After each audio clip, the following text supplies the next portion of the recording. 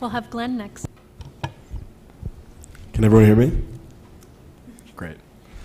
All right. Um, first of all, I'd like to thank the planning committee for allowing us to be here and Chair Professor Fred Rivara. So thank you. Um, to say that these past few days have been extremely stimulating is just a severe understatement. It's an honor to be with some of the greatest minds in bullying research.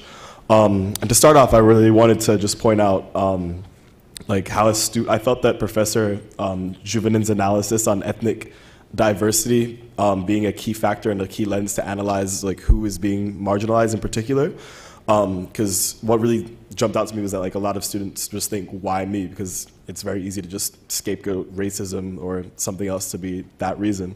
And so um, I believe that on the micro level, teachers should be encouraged to analyze why someone is being targeted in particular because um, often these vulnerabilities are what, what is exactly being exploited. And so if the teacher's aware of it, maybe they can actually do something to stop it. Um, and yeah, and um, something else that really point, like, was really poignant was the fact that like one friend like reduces the chance of being bullied.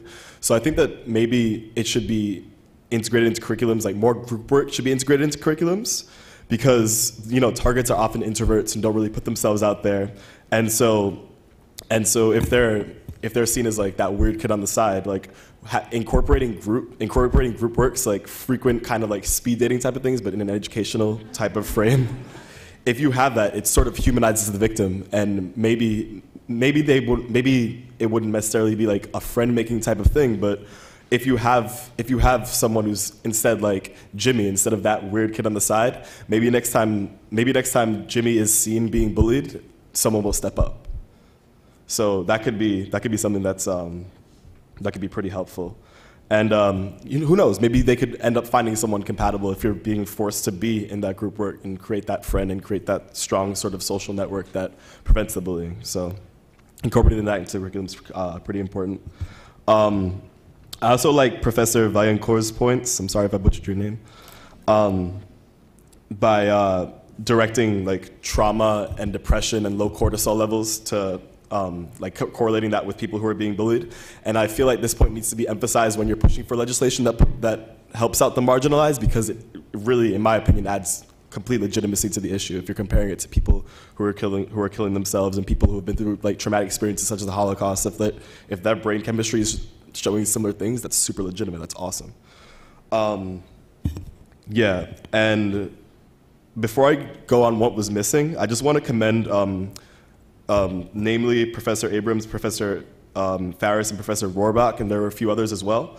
Um, but I just really liked the concise uh, PowerPoints that were that were up there, and like the emphasis on the graphs. Um, I thought that was pretty important because if once if you're in a session all day where you're pushing out high volumes of information and like I don't even have a BA, you all are PhDs. Like I'm I'm trying, we're all trying to process this um, these high levels of information. It's I'd personally, anyway, personally speaking, anyway, um, I, I, think it's more important to listen to exactly what's going on to process it all rather than read a bunch of information and then also trying to listen. So it's kind of, I don't know, but just putting that out there. So I just wanted to commend the professors who did do that. Um, and a major factor that I thought was overlooked was um, just the self-esteem and phys- and like validation of like phys- like actual validation and confidence of the victim. Now, they say that um, as millennials, we're entering an age of narcissism. For those who are in like the higher echelons of like the social pyramid, um, it could be like that could be a good thing as far as like external validation. Um, yeah, um, external validation for like your success and who you are and everything. Like Facebook likes is a huge thing. So if you're getting a lot of Facebook likes, you're considered popular. You're considered the man, that girl, whatever. But those who are targeted, those who are marginalized, they're not getting those Facebook likes. And as we're entering a time where less people are spending, less people are spending time with their parents and more like children anyway, um, spending less time with their parents and more time with the computer. So if you're in an environment where you're you're bullied all the time, am I taking too much time? Oh, sorry, I'm almost done.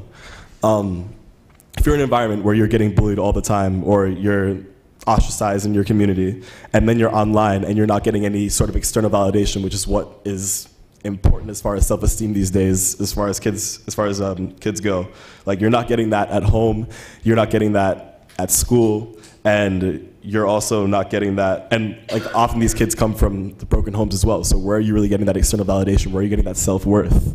That's a real that's a really big issue. So in my opinion there needs to be a campaign that encourages students to love themselves and um, like a self-worth campaign, the love yourself type of thing, um, where it brings out their talents or quirks seen as odd, like quirks seen as oddities to some could be passions for others, and some somehow, some way, we need to eliminate the importance of external validation and have people really recognize their self-worth because, I mean, we're all people, we're all meant to be alive, and we all should be love ourselves. That's all I have to say.